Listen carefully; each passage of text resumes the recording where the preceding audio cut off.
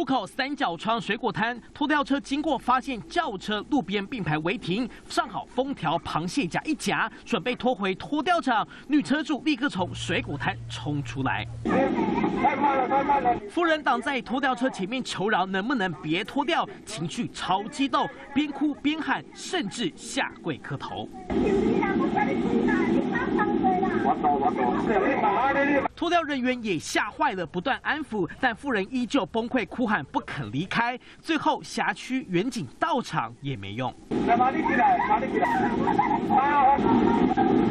他来我这里每一块西瓜，车子已经掉上掉上车了。原来富人到水果台买西瓜，想说停一下下就好，但并排违停可开罚两千四百元，再加上拖吊费一千元，买个西瓜就花了三千四，荷包大失血。拖吊作业已完毕。故警方委婉告知，并请该民众前往拖吊场领车。妇人又哭又跪，警方也很不忍心，但已经完成开单取缔，还是得依法拖吊。买个西瓜挨罚三千四百元，学到惨痛教训。记者宋佩成、王书红高雄的。